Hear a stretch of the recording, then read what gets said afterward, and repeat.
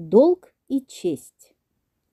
Марья Павловна была женщина энергичная, носила зеленые галстуки и резала в глаза правду матку. Она пришла к Мединой в одиннадцать часов утра, когда та была еще не причесана и не подмазана, и потому должна была чувствовать себя слабой и беззащитной.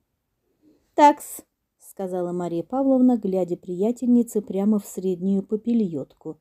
«Все это очень мило. А не потрудишься ли ты объяснить мне, кто это вчера переводил тебя под ручку через улицу, а?»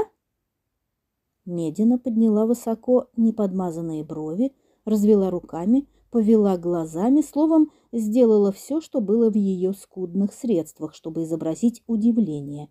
«Меня? Вчера? Под ручку? Ничего не понимаю». «Не понимаешь? Она не понимает. Вот вернется Иван Сергеевич из командировки, он тебе поймет». Медина собралась было снова развести руками и повести глазами, да как-то ничего не вышло. Поэтому она решила обидеться. «Нет, я серьезно не понимаю, Мария, о чем ты говоришь?» «Я говорю о том, что ты, пользуясь отсутствием мужа, бегаешь по улицам с дураком Фасольниковым. Дас!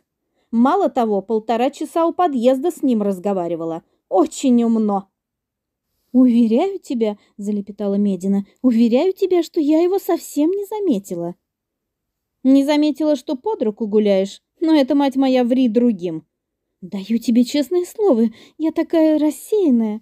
«Другой раз смотри, что у тебя под локтем делается. Два часа у подъезда беседовала. Швейцар хихикает, извозчики хихикают. Анна Николаевна проезжала, все видела. Я, говорит, еще с поперечного переулка заметила, что Медина влюблена. Теперь ездит и трещит по всему городу. Медина всплеснула руками. «Я? Влюблена? Что за вздор?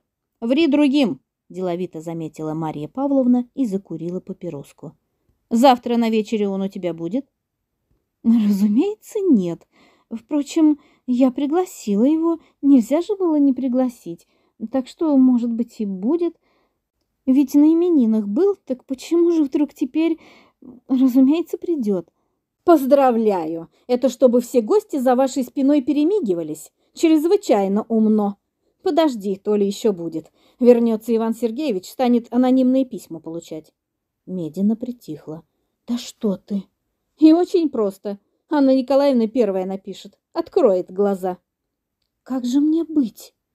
А уж это твое дело. Ты должна поступить, как тебе подсказывают долг и честь. А как они подсказывают? Ты должна написать своему Фасольникову, что, во-первых, ты порядочная женщина, а во-вторых, что он не должен больше у тебя бывать.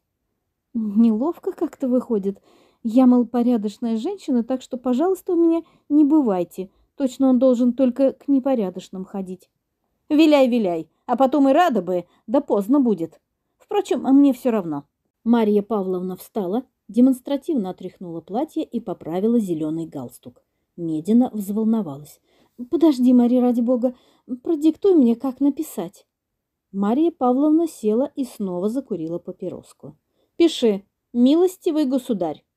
«Воля твоя, но я не могу писать «милостивый государь» человеку, который бывал у меня запросто». «Ну, пиши, многоуважаемый Николай Андреевич». Это такому-то мальчишке писать многоуважаемый? Да он себе не весть, что в голову заберет. По-моему, нужно написать просто дорогой. Ты думаешь? Ну, хорошо, это, пожалуй, можно. Итак, дорогой Николай Андреевич, честь имею уведомить вас, что я честная женщина. Воля твоя, не могу так писать. Это точно официальная бумага. Ну, пиши просто. Я женщина честная и прошу вас Воля твоя нехорошо выходит. Ну, так пиши. Спешу уведомить вас, что я честная женщина. А он скажет, чего же она четыре месяца молчала, а теперь вдруг заспешила. Мари, дорогая, не сердись на меня. Может быть, можно это в конце поместить? Знаешь, это даже эффектно выйдет, уверяю тебя. Ну, хорошо. Теперь пиши так.